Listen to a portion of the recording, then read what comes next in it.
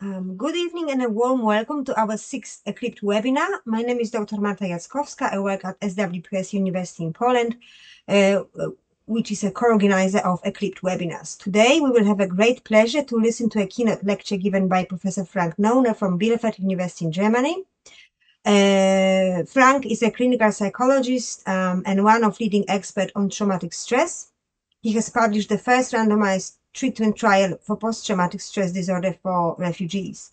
Uh, Professor Neuner will be joined uh, for a discussion by our very own Professor Agnieszka Popiel, who is a psychiatrist, a therapist, and who, uh, of course, established and is now a co-founder, co-head of SWPS University Clinic of Cognitive Behavior Therapy. Uh, Professor Popiel specializes in the diagnosis, treatment, and prevention of post-traumatic stress disorder. Last but not least, I wish to thank the audience for joining us live tonight and all of the of us, all of you who will be watching us later. And mm, for the audience who are present here live, please use the chat function to ask the question. And we will aim to answer as many of them as possible. And now over to you, Frank. Thank you. Yeah, Marta, thank thank you very much for the invitation. I'm quite happy um, to present here towards this, yeah, this distinguished audience.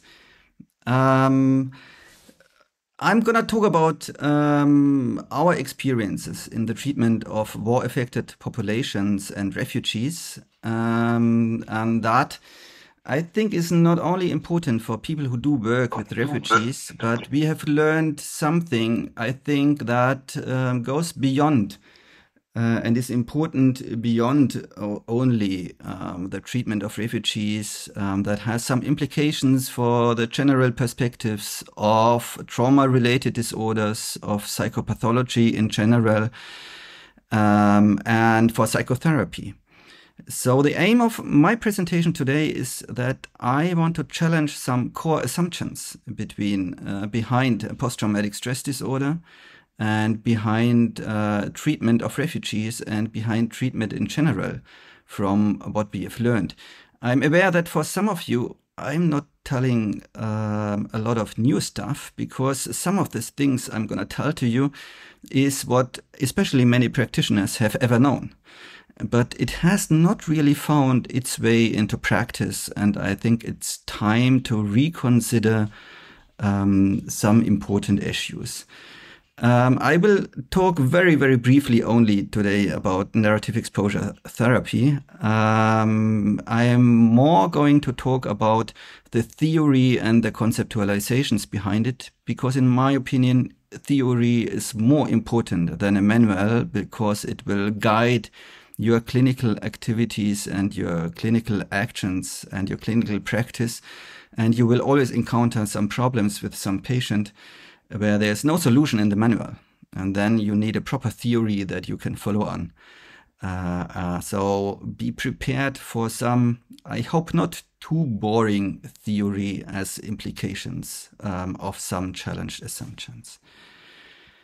So this is where my experience comes from in recent uh, years, we had been working with the various populations across the world in various countries, uh, various war affected populations, most recently with refugees and IDPs in Iraq.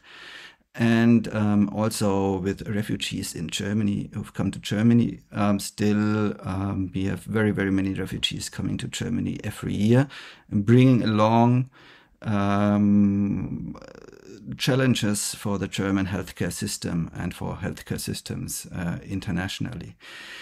The work I'm going to present today and the um, topics I'm going to present today can not only be attributed to me, but to my wonderful team.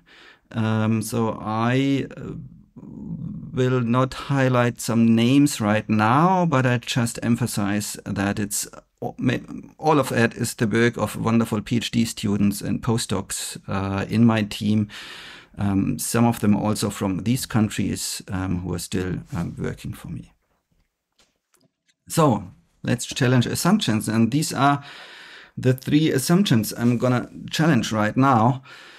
Um, the first assumption is that trauma related disorders such as PTSD are regularly caused by single traumatic events. Um, I guess many practitioners are aware of the fact that this core assumption is problematic um, and needs to be challenged. But if it's not the case that there is a single traumatic event that is outstanding to an extent that we can refer um, trauma symptoms to that single event, then this has implications for PTSD diagnosis, for PTSD theory, and for PTSD treatment. And we have to take these consequences serious.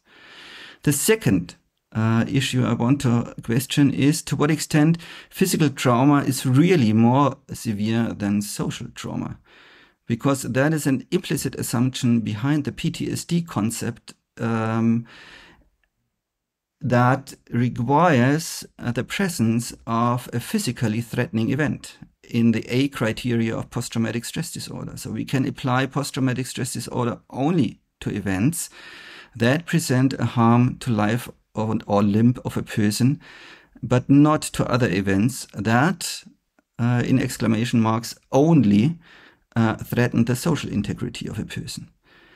And the third issue um, I want to question is um, for the implications for treatment is the general assumption that we have in providing uh, treatment for trauma related disorders and for many um, mental health conditions that um, we can expect patients to come to psychotherapists and receive treatment.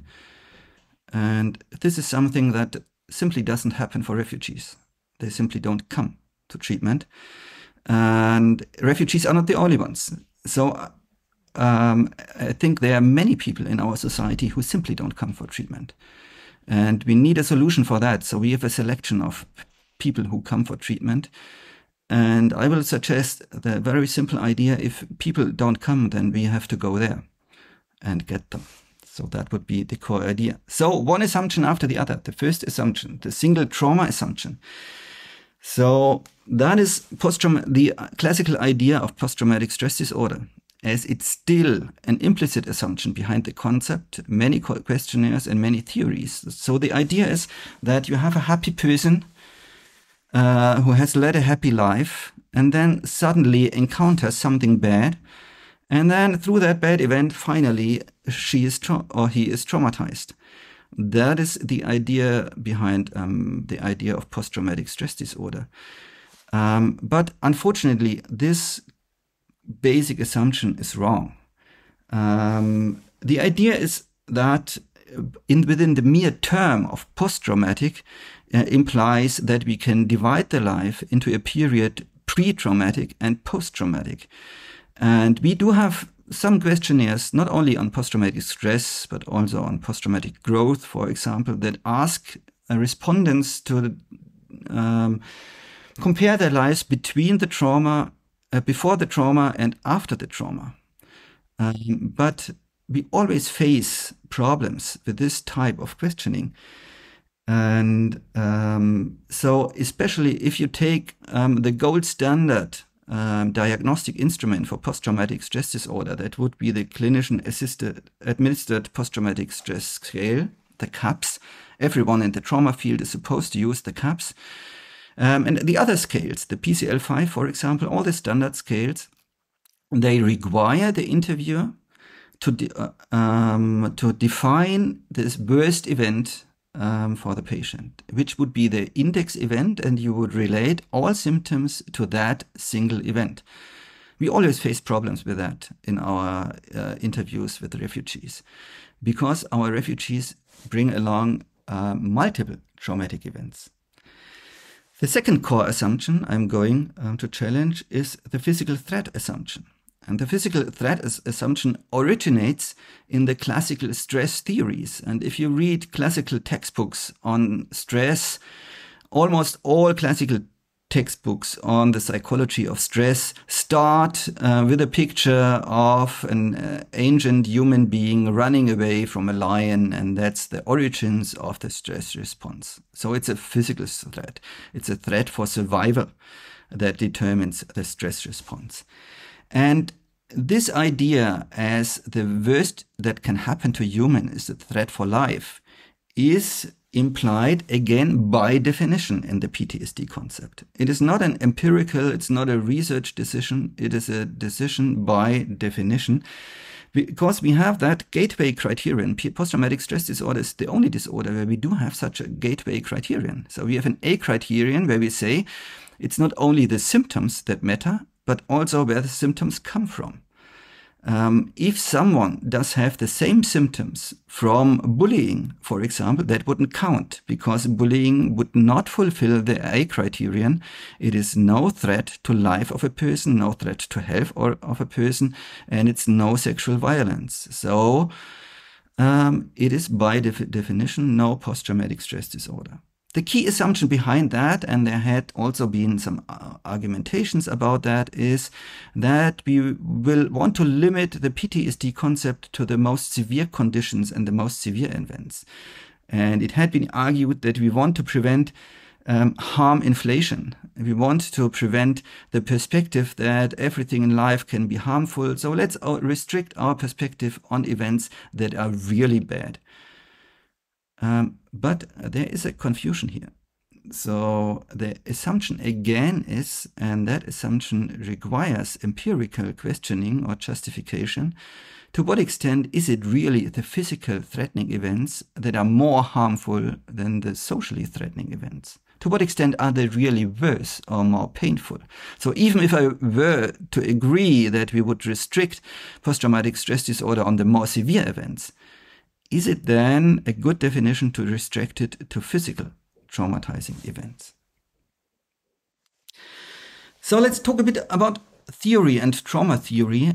And in the field of post-traumatic stress disorder, we are very, very fortunate in terms of theory because there's a strong consensus on theory. Um, and we have quite some trauma focused theories. And if you summarize them, I'm drawing a lot on, on Chris Brewin's work here, but other people more or less say the same. So basically, the idea is post traumatic stress disorder is a disorder of the memory. So we have a dysfunctional pathological representation of a traumatic event in memory. And if you look into more detail, uh, then we have different structures in memory. We have a fear structure, an autobiography, and a self-concept, three different representation of a traumatic event um, where the event is encoded. And I'm going through into a little bit more detail about what is known about the fear structure and the autobiography to check what are the implications for theory if it's not a single event and what are the implications for theory if we include social traumas um, within that framework? So the original idea um, behind these associative networks is that associative networks are more or less conditioned uh, memory structures that encode into an associative network the experience that occurred during the traumatic event. And the problem about of traumatic events is that during traumatic events, our reactions are not limited just to the classical stress response, which would be flight or fight, but we do have a variance of quite atypical, abnormal um, stress reactions, including, for example, the fright or tonic immobility. This is something we would not encounter in typical stress reactions, but only in very, very intense stresses. So we freeze under a high arousal, which feels very, very strange. Usually we are not immobile under high arousal, but we are highly mobile. And we have such dissociative responses like the flag and even faint response. Um, so um, people during traumatic events in a resignative attitude, um, their their uh, physiological arousal gets down, not high, during the stress response. Um, they dissociate, they lose the contact to reality, and all these different types of reactions that had occurred during the traumatic event are then conditioned in what Edna Foa has called a fear structure. Fear structure is already probably not the right word because it's not restricted to fear. So all these types of reactions and emotions can be conditioned to a network that encodes the situation and the experiences during the traumatic events, the sensory, cognitive, emotional, and physiological responses.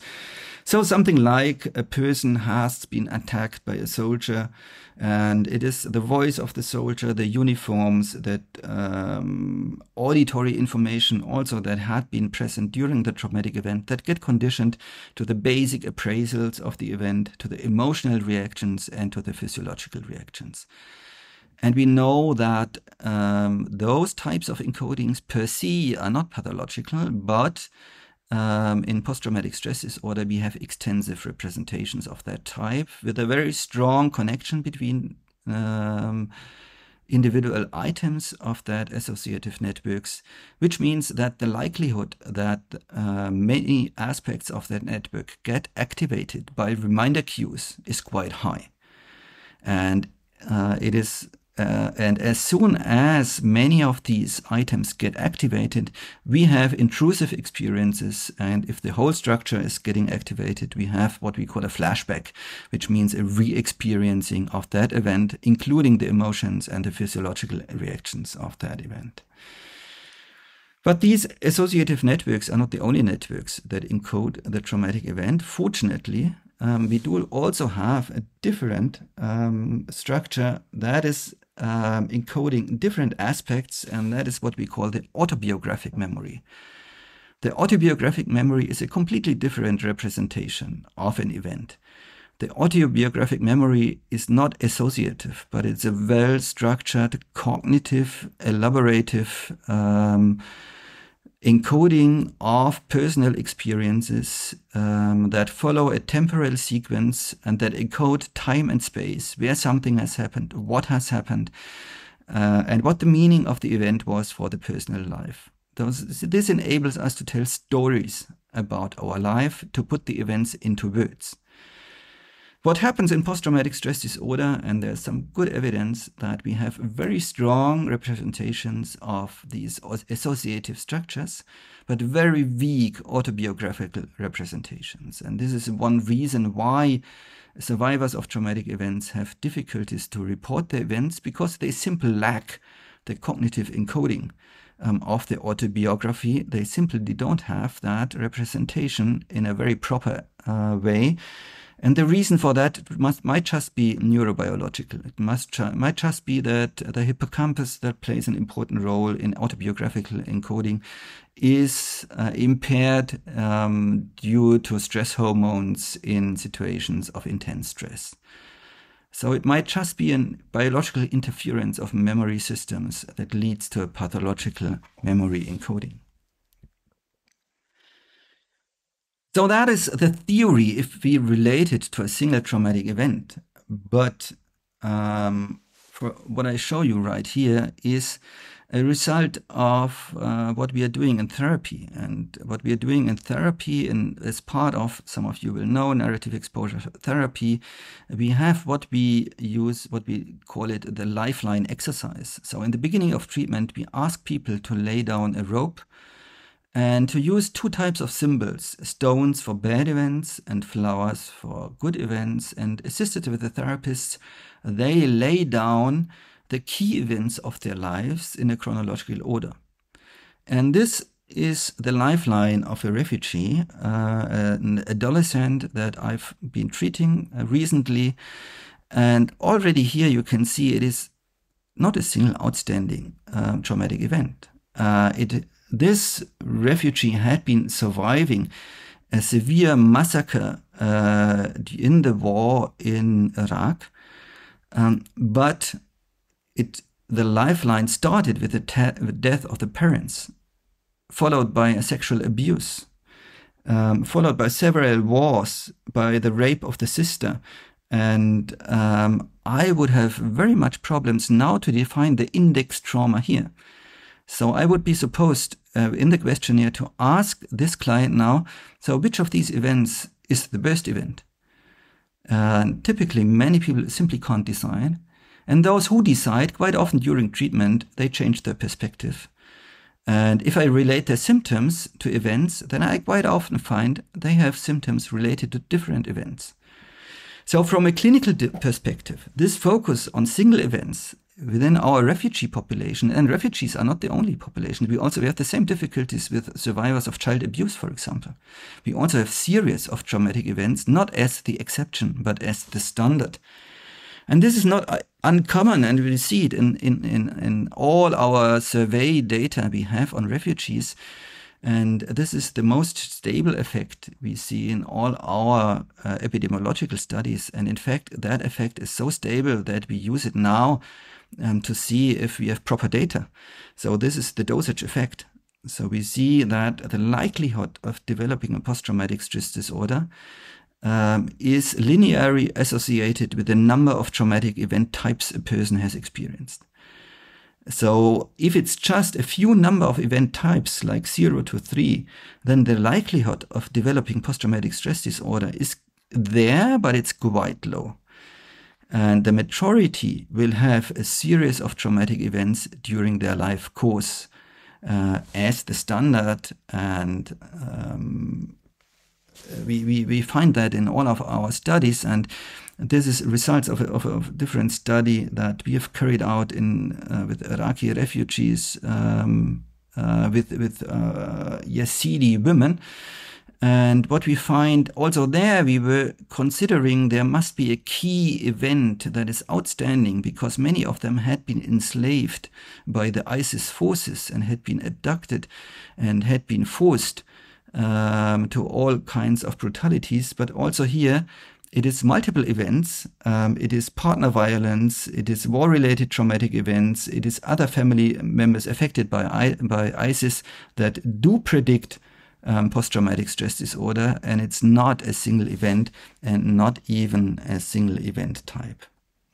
So in severely affected populations, like refugees, what we expect is that multiple types of traumatic events is the normality, and we would expect an effect that we is known within developmental psychopathology as the so-called pile-up effect, which means that once you have one risk factor the likelihood that you have another risk factor is higher.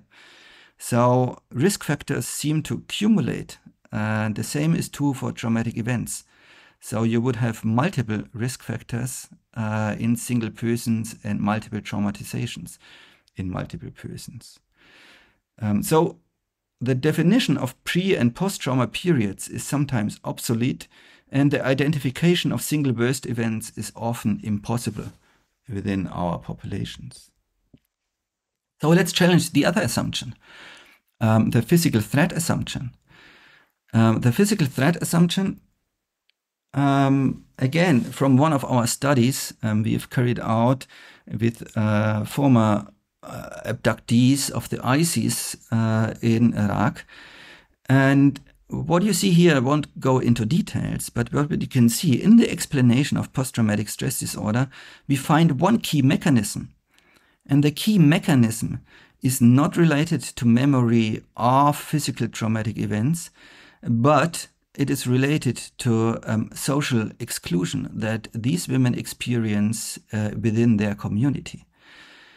So with these questions, are you worried about not getting married now? Do you feel excluded by your family? Do you feel excluded by members of your, com community? We see that we have additional events, additional stresses, and additional traumatic events that occur right now and that are not less severe and in fact play a major role, not as a moderating, um, but as a mediating factor in explaining post-traumatic stress disorder. And this comes quite along if we see about social factors. Social factors in post-traumatic stress disorder have mainly been seen as protective factors, as social support, for example, as protective factors.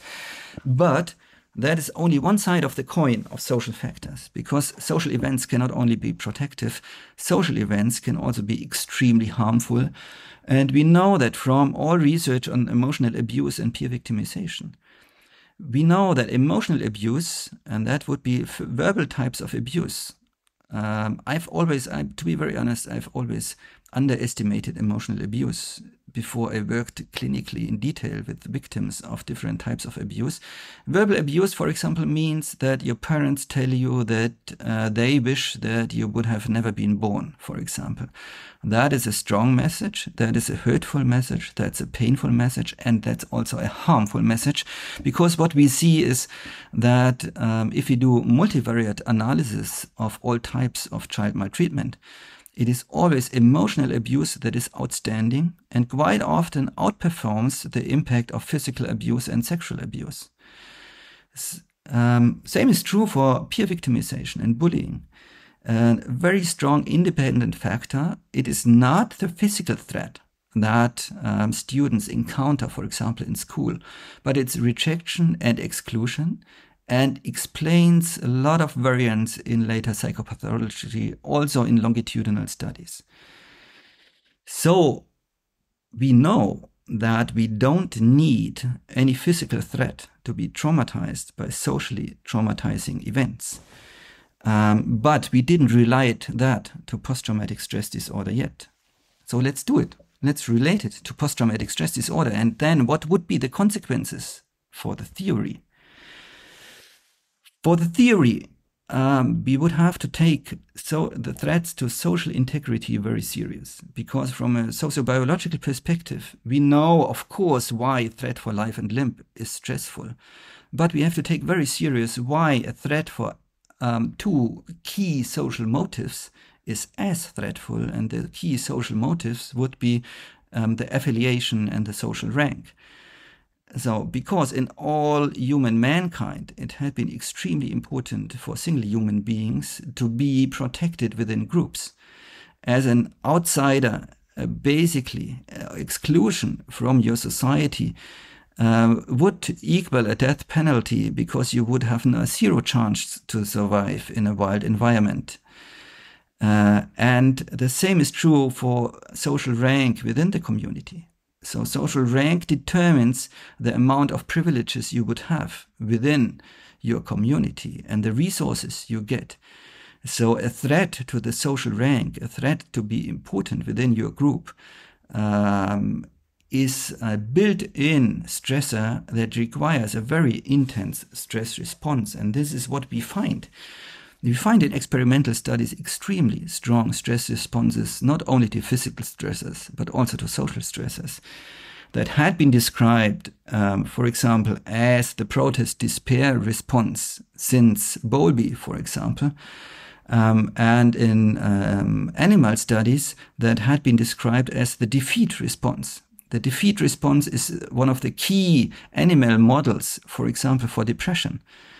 And the defeat response is nothing else but a threat to the social status of an animal by having an intruder animal that is higher in rank, um, that is more or less humiliating that poor animal. The same we find in human beings, and we find the same defeat reaction as we find here. We won't go into too much detail now, but uh, I'd recently written uh, a review article in Clinical Psychology Review where I've summarized these different types of responses to physical and social stresses.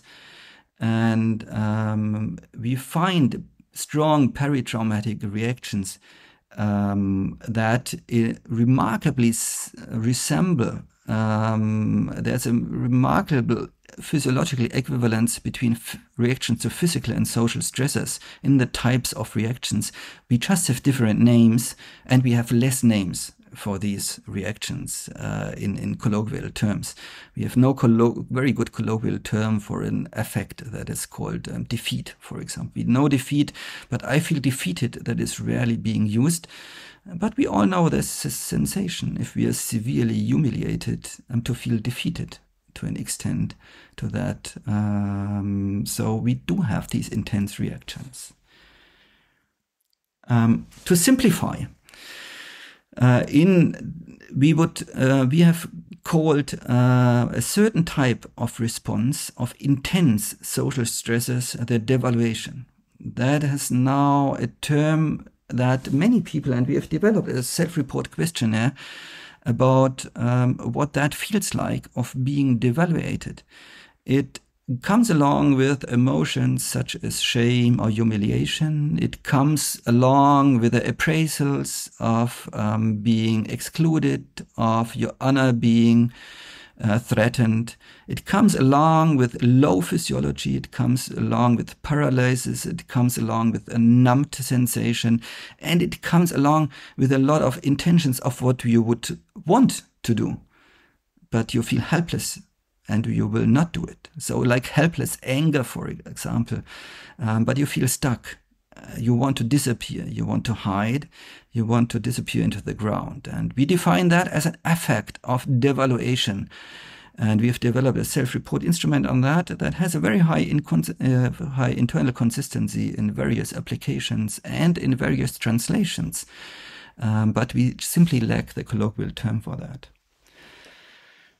So if we relate that idea now to PTSD theory, then the implication would be that we do have associative networks not only about physical threat reactions, but also on social threat reactions. So we would have devaluative aspect within these networks. Um,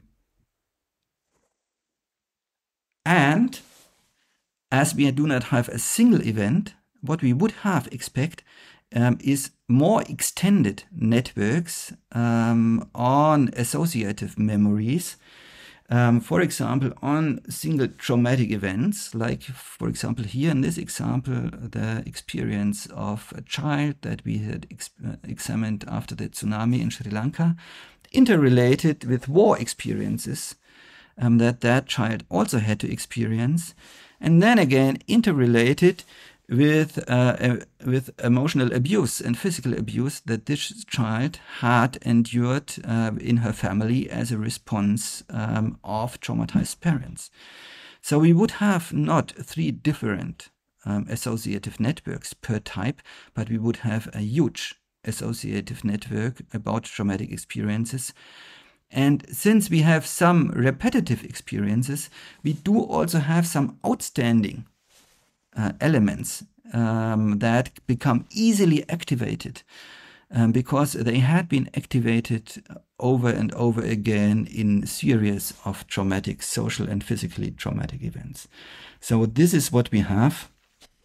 And as an empirical finding, um, for example, here uh, within uh, Iraqi refugees, we uh, that was Syrian refugees in Iraq, we could confirm that that effect of social devaluation, and we were relating it in this way to this um, social devaluation as a refugee living in Iraq, uh, and they are living under very restrained conditions. Um, and the extent to what they feel socially devaluated as a refugee is a strong mediator between not only the social stressors, but also the traumatic stressors and different types of psychopathology that we have. It's not a full mediation, but it's a partial mediation.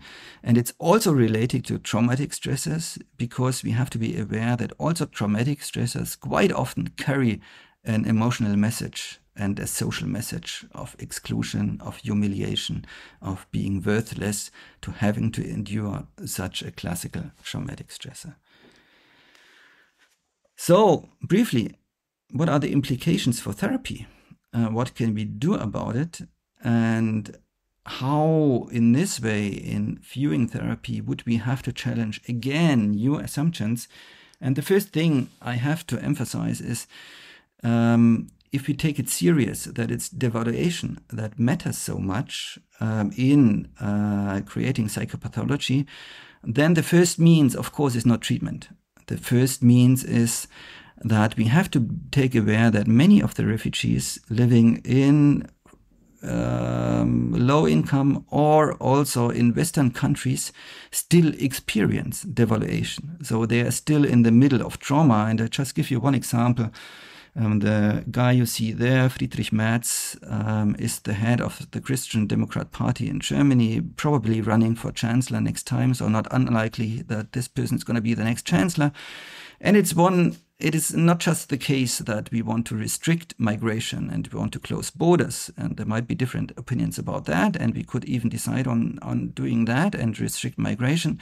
But what we should not do um, have um, statements like this and uh, questioning the motivation of refugees and uh, saying that say they sit at the doctors and have their teeth redone as if that was the key problem of refugees and the key motivation to come to Germany is to have your tooth redone. And that is not just a hurtful message for those who had experienced multiple traumatic events, but it's also a harmful message for those. And we have to reconsider the way we talk about refugees. But it has also uh, implications for mental health care. And we have done a couple of studies on mental health care of refugees in Germany. And this is just uh, one of these studies, and we have found the same uh, results uh, at uh, various studies. And this was now carried out in Bielefeld, uh, where our university is, and we've just studied a convenient random sample of refugees, an unselected sample. And what we've de determined is the objective need for some kind of mental health assistant in more than 50% of those unselected refugees. And that is not uncommon, and this is uh, quite consistent with the international literature on refugees um, if you see the subjective need, which means to what extent are the refugees themselves aware that they would need treatment and there is something like treatment for the condition is considerably lower, um, then uh, again, what is considerably lower is the number of those who had contact to any mental health worker um, we know that the first line treatment would be psychotherapy. And again, then we are already at about 3 to 4% who had ever contact with a psychotherapist. Those who had received psychotherapy with more than 5%, five sessions is already below 5%, and none of them had received any type of evidence based psychotherapy. And um, this can be basically, I guess, generalized um, to um, I would guess, to many refugees living in very many countries. Um, we have several reasons for this. Of course, there are many structural barriers to receive psychotherapy uh, in Germany. So we have barriers um, um, on the side of the refugees because simply they don't speak the language and they are not aware of um, psychological trauma. But I would also emphasize on the barriers on the side of the psychotherapists. And we have done a survey of psychotherapists in Germany, um, a large scale vignette experiment. So we have sent all of them cases and asked them, okay, what do you feel about that treatment? What would you expect and what would you recommend?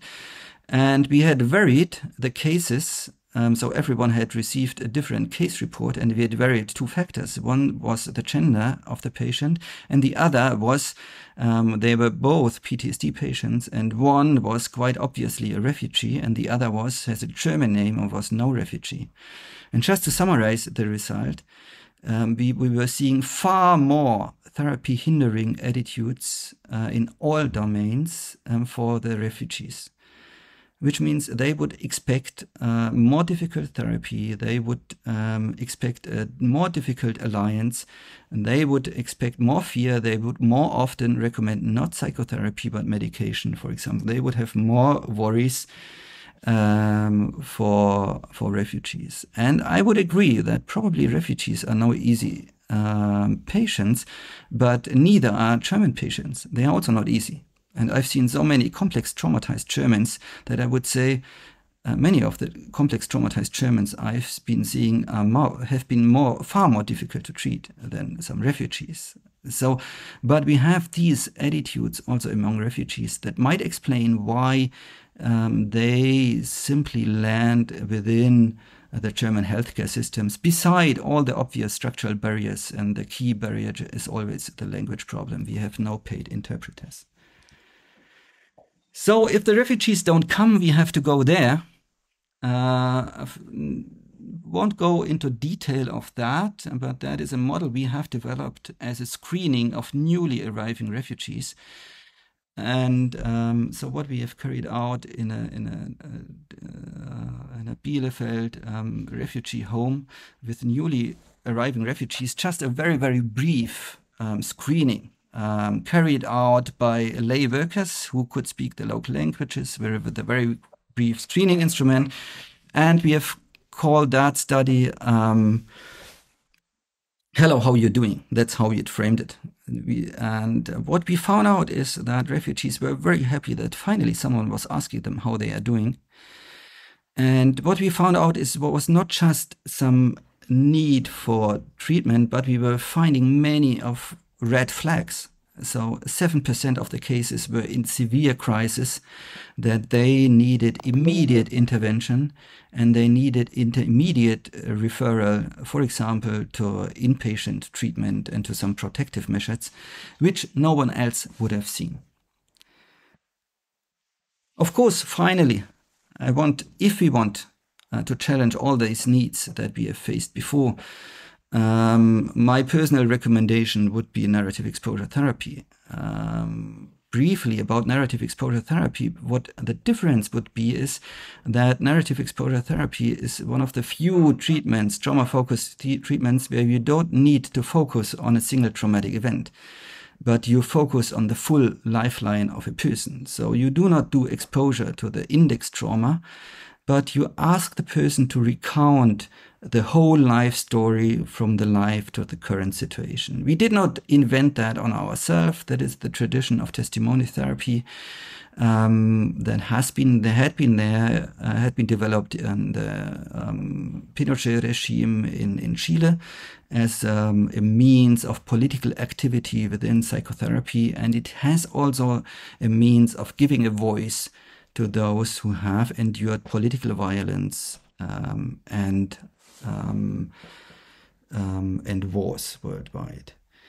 Um, so theoretically, what we aim to achieve with a narrative exposure therapy by going, doing exposure not just through one event, but also to going to all the events is basically to contextualize not just a single index trauma, but to contextualize these different um, traumatic events and to find what type of reactions belongs to where in time and space of the biography um, of the survivor. That would be the theoretical argumentation, and we could very well include here socially traumatic events as well.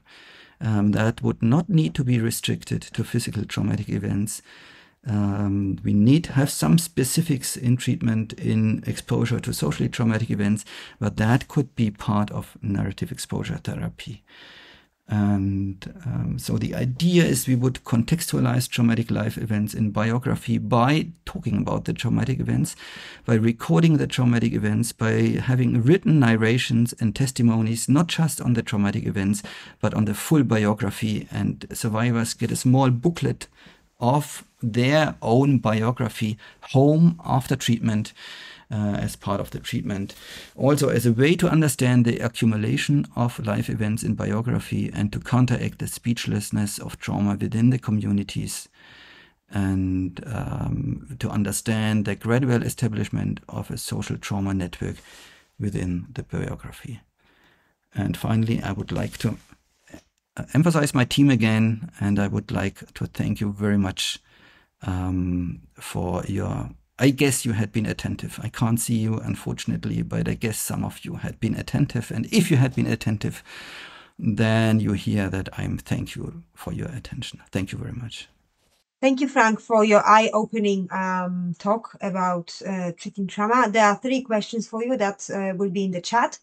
But now, uh, please let's uh, listen to Professor Popiel on her view on, on the issues you discussed, and then let's let's um, have a discussion between the two of you. Thank you.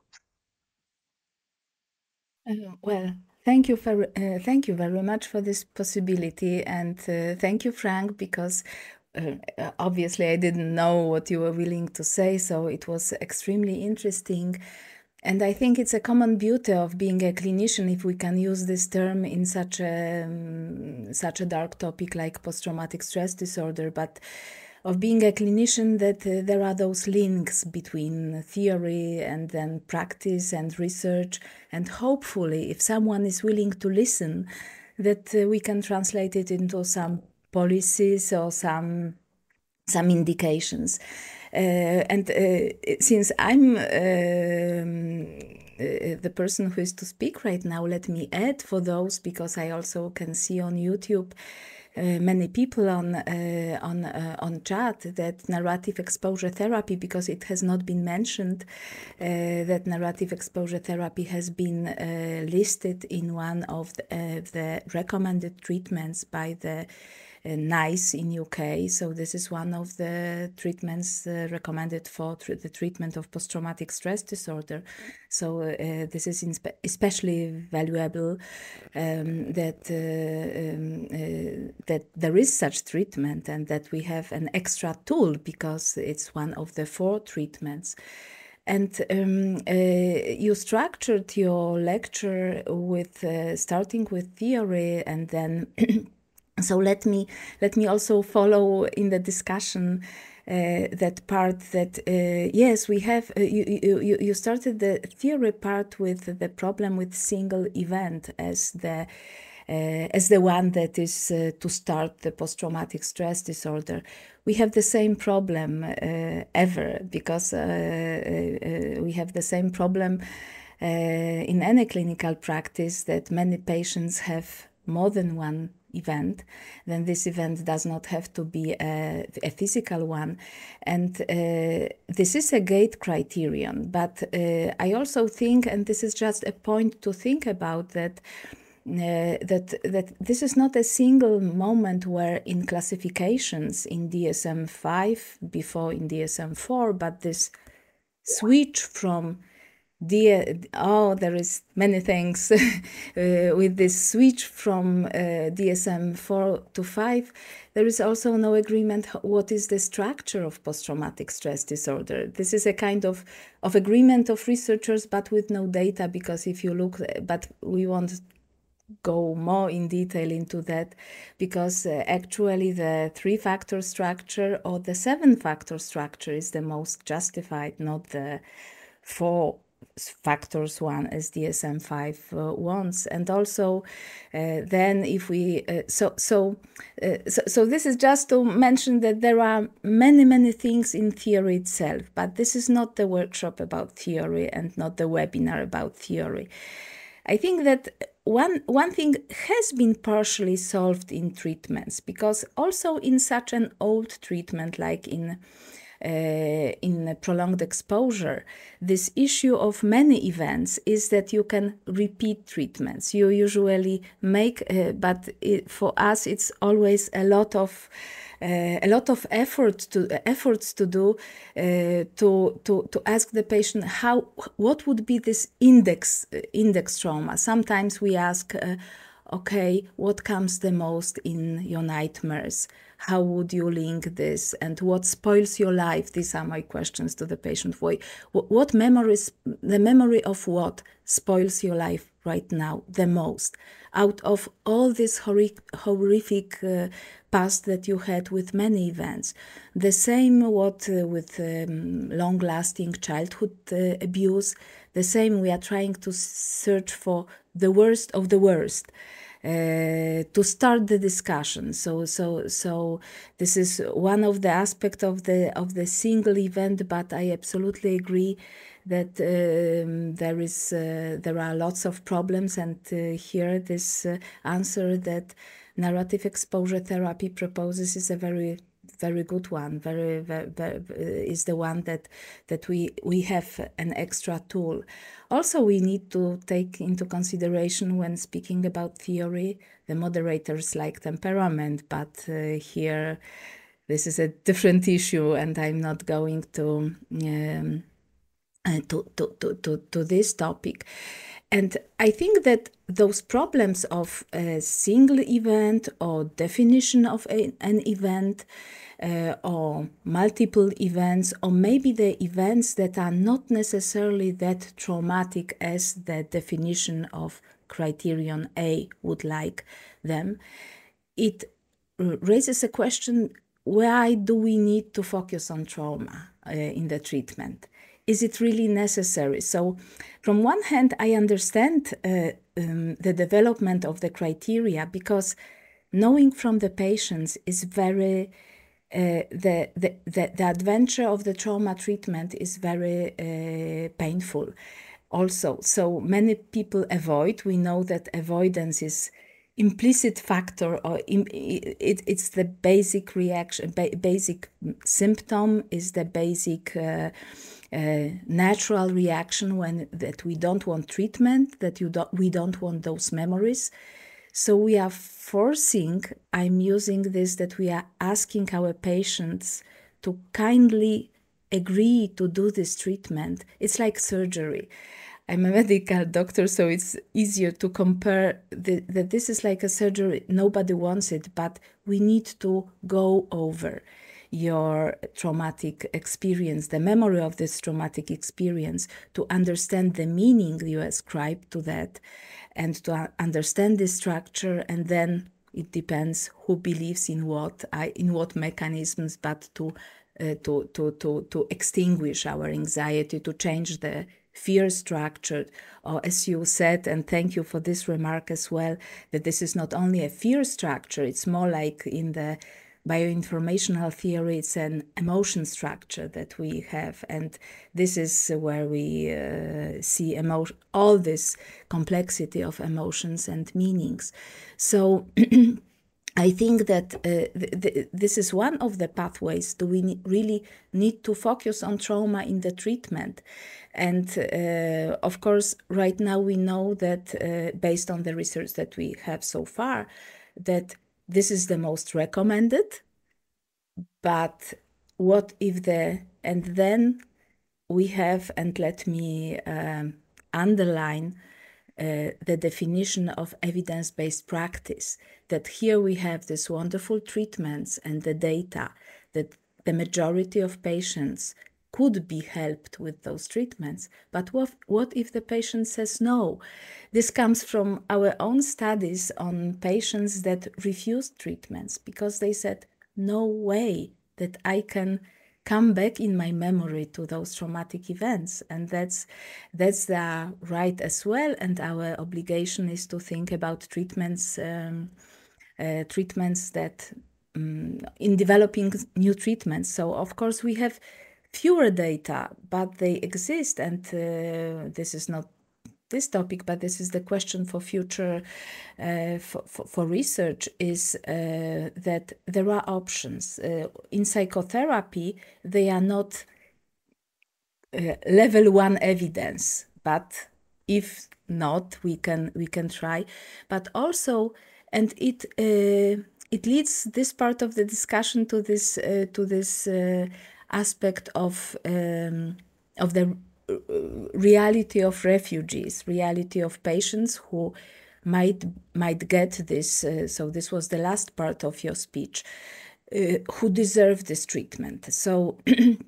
Uh, in um, at least right now in Poland, uh, but all over Europe, this was the most recent, but traumatic events change and and but if we think of the amount of people uh, who uh, like 3 millions that came to Poland just after the war uh, in in Ukraine we need to think uh, and even if there was a percentage percentage as we find in literature that this is if given that uh, people were traumatized that this these are those amounts like 30% that might be uh, in need for PTSD treatment or trauma related treatment. So, this is one aspect that uh, people don't come or they come and cannot undergo psychotherapy because there are no resources, there are no therapists who would do it.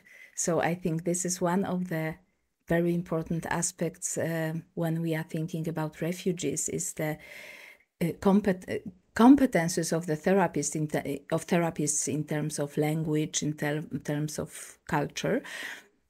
But here. Uh, we uh, we need to uh, to uh, to to uh, think also about about those treatments that may be available. So let me say, let's not forget about pharmacotherapy as well if we are thinking in, in the treatment of post traumatic stress disorder, because maybe it's not the best, it's the second line, but it's the most available in many many areas, and it does not need uh, uh, um, that, uh, that, that advanced uh, linguistic competences, and the interp- the role of the interpreter is is not so. One one aspect is that within the, this, um, when we think about refugees, that there are those treatments, including pharmacotherapy. So we might think of that. And also, you mentioned um, coming back for a moment to many events, uh, among them uh, the events that are not defined as traumatic, that cause symptoms, that trigger symptoms that are trauma related. But let me make another step that uh, if we, since the 80s, when we think about uh, uh, about trauma, uh, uh, about um, about psychopathology in general, there is a diathesis stress model. So we think about the whole range of uh, of of uh, disorders uh, that may result from stressors. So it's not only PTSD, this is basically all psychopathology. There is a question, can we extend for some minutes? So let me, I'm just summarizing and maybe we will not need, uh, so, so, so uh, uh, I love the results of, uh, with uh, the vignettes of your study because this is exactly what is the main, our main thinking how because refugees deserve the best treatment and this is a beautiful and and sad result that they rarely get the evidence-based treatment because we, the therapists, we have our own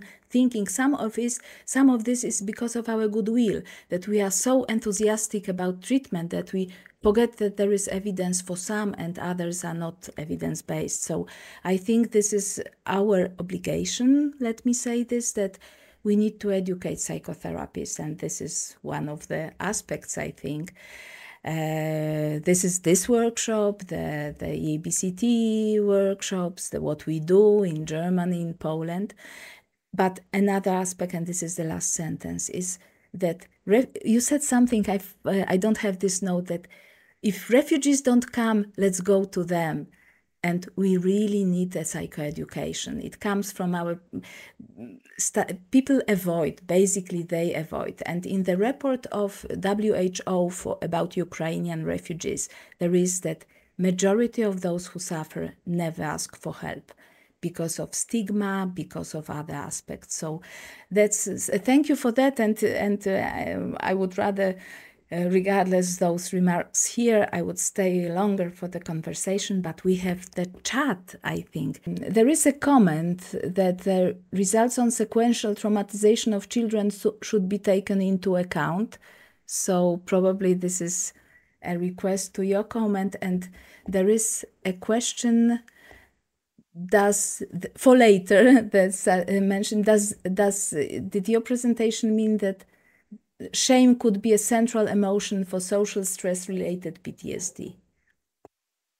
So, probably these are those two questions here. Yes. Sh shall I respond? Uh, it seems so. Okay, okay, okay. Let, let, let me respond to some of your uh, beautiful comments, Agnieszka, and to, to the questions uh, in the chat. Uh, I'll make it brief um, and and, import, and, and focus on the more, most important things. Uh, one one key one one key question I think that is uh, one of the key questions in clinical psychology in general and in psychotraumatology, and you formalized it. Um, do we need to focus on the trauma, uh, which means do we need um, exposure therapy? Do we need that painful treatment? Um, uh, in my experience, this uh, type of question does not fully cover the problem. Um, because part of the problem is also um, do we, and that is now the question um, to us, do we, are we ready to do it? Which means, are, are we ready to listen if someone wants to? You know, it, it is quite easy to find a patient who is unwilling to do treatment um, if we are not, more or less. So, um, in my experience, most patients are highly ambivalent uh, when they come to therapy and they give um, two communications at the same time. Um, I never ever want to talk about it, but finally, I would really want to take the chance to talk about it at the same time, uh, which shows their ambivalence. And uh, this uh, and then the reaction of the clinician is absolutely uh, is the most important thing how how things will be going. Then if you are absolutely clear as a therapist that you are willing to hear it then the chances are quite high that the person will be willing to disclose. And that is for in my opinion not just a matter of um, clinical perspective uh, taking and of efficacy, but it is also a question of humanity. So, are we willing to listen to stories? Uh, because that is what, what, what traumatized patients keep carrying along. It's not only that I can't talk about it, but no one really wants to hear it.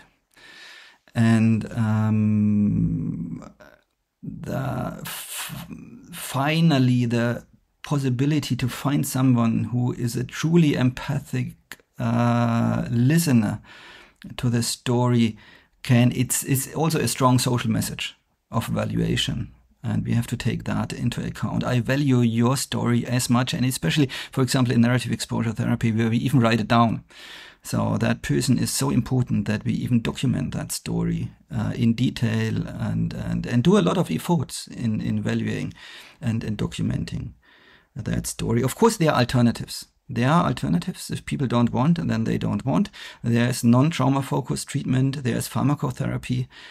Um, but uh, on a societal level, I would say for the treatment of refugees, as I've said before, the most important means before I would invest in psychotherapy is I would invest in the way we deal with refugees in general. So that is do we provide them a fair and valuable chance to feel like an important member in society and to find a perspective here? Or do we keep having these devaluating messages um, and perceiving them or quite often uh, with a lot of racism and a lot of um, downplay? And because that will, of course, maintain their psychological disorders. And probably that is the most important, before we think about psychotherapy, the most important thing to do within a society to prevent chronification of traumatic stress reactions. But there are also I would say, cheap and effective, uh, effective versions of psychotherapy, like narrative exposure therapy. That, and we had shown before that we don't even need uh, properly uh, five years trained psychologists to do it. Uh, in principle, that would be possible also for trained uh, lay workers to do the treatment. It, it, would not be allowed in Germany, but maybe in other countries that would be allowed. Uh, and I guess it could be considered regarding that high numbers of people in need. And I like the, the surgery analogy that you have said. I think trauma focused treatment is a kind of surgery and it has to fit into a person's life. So if, if you're, if it's not the right time, then it's not the right time, then you can postpone the surgery, but it will interfere considerably while you do the treatment. Um, but it is um, the prerequisite for healing. And for one, for one other thing, um, because I, I, fully agree, um, prolonged exposure and is, is an excellent treatment. And also there, they uh, therapists of prolonged exposure are aware that it's not only a one event, but, but and you can also treat two or three events within prolonged exposure. Um, but uh, uh, in my experience, one um, advantage of such a systematic biographical approach is that you can fully understand the experience of a traumatic event because you know the story of a person as it had been before. Sometimes you simply question why did this person not defend herself in this situation? And you will never understand why she had not defended herself unless you understand how she had been physically abused before by her father 20 years ago and she learned that there's no way in defending yourself. and she had re reacted uh, immobile and she had learned um, an, a defensive reaction that's going to be reactivated. So there's an accumulation of defensive reactions and of meaning that occur throughout the li life that is easier to understand if you follow the chronological way. I admit, as Edna Foa would say, you have less habituation for single events, and that could be a disadvantage. So it has advantages and disadvantages. Um, still, um, I like that type of treatment, obviously. Well, the stones and the flowers that uh, maybe for some people who uh, uh, which are in your treatment, they uh, turn us into really something that is so beautiful in general in, in in treatment and in cognitive behavioral therapy that you that you have a chance to analyze the meanings of any events. And those flowers are wonderful. So i really appreciate uh, i mean all, uh, all the aspects of the narrative exposure therapy. So uh, this is the last question to, to, to Frank. Uh, let me read this, or maybe you can. How do we go about cases where the client strongly denies the possible impact of trauma or refuses to explore traumatic event in therapy? It seems that the last part you have uh, partially answered, but uh, the first part, I don't know. When I yeah, um, usually this is not so much of a problem for our clients. So, and sometimes I would also say that um, if if only the clinician sees the impact of trauma, then I would carefully say maybe it's not there. Um, yes. So, so typically for our clients, um, it is quite obvious, and we we have so so. But, but what I would certainly recommend is for any therapy I would do is to have um, checklists of the most common traumatic event as a screening as a standard part of diagnosis of a checklist including different types of child maltreatment and different types of standard events um, just to make sure that you see everything that had been there in biography. And um, then um, it is, I would say, trauma focused therapy still requires specific types of symptoms, which would be essentially uh, intrusive symptoms, which means a kind of re-experiencing of these symptoms, which make the relation between traumatic events and current experience and symptoms quite mm-hmm. obvious for both the clinicians and the patient. Mm-hmm. That would be my reply. And uh, let me just say this certainly, shame is a central emotion for social stress related PTSD, maybe the central emotion. Um, I could talk for ages about shame, but not today. Um, but um, the difference in our perspective now is that I don't believe that shame is an event that occurs as a post hoc evaluation of your event, but shame had been present during the event and can be conditioned just as fear during the event, and that has implications for treatment. You are not just ashamed because you had experienced sexual violence, but during sexual violence, shame to an intense extent had been there, and that becomes conditioned. So we need to contextualize this shame within that event also. That would be the difference in our perspective here. I'm uh, maybe it's not too objective, but I'm happy that this has been recorded because you said so beautifully about refugees and what they deserve for, that we can still look at this uh, later on and also some aspects of this because this this was the best summary I think. But uh, but thank you for the possibility of discussing that, and I think it's time for Marta to. Yes. Um, thank you very much to Frank and Agnieszka. I think our audience has um, has been deeply captivated uh, these webinars are recorded, yes, um, and it's a useful resource. Um, I think uh, obviously trauma treatment is, is always needed, but it seems now is more than ever with the war still in Ukraine and then what we what we are witnessing in, in Israel and, and Gaza. So um, thank you again, and thank you to, uh, to the audience. Um, and it's been a great pleasure to listen to both of you.